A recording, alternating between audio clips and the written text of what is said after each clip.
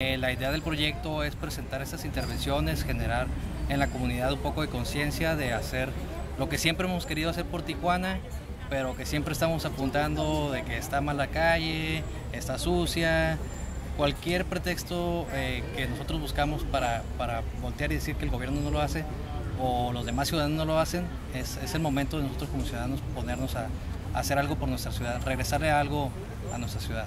¿Cómo surge esta agrupación y cuántos lo integran? Mira, nosotros eh, formamos parte de una asociación civil que se llama El Globo.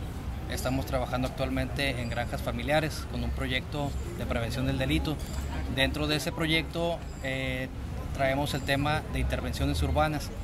Eh, investigando sobre el tema, tuvimos un contacto directamente con Colombia, que ellos ya han tratado estos, este tipo de temas eh, comunitarios y ellos traían un proyecto en su ciudad que es hacer las 100 intervenciones en un solo día.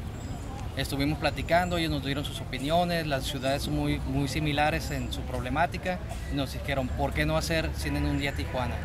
Eh, la idea es intervenir, hacer 100 intervenciones en un mismo día, que se note un poco más el cambio, a que si lo hacemos cada quien por su propio lado. ¿no? Es hacer 100 intervenciones con un propósito positivo para la ciudad.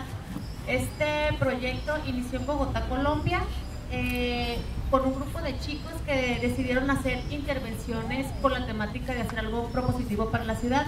Empezaron con hacer seis intervenciones y decidieron hacer un cambio y dijeron, ¿por qué no hacemos 100 para que pueda tener un impacto significativo? Ellos lograron eh, impactar a más de 3.000 personas y entonces eh, invitaron a otros países, a otras ciudades para que empezaran a hacer este proyecto.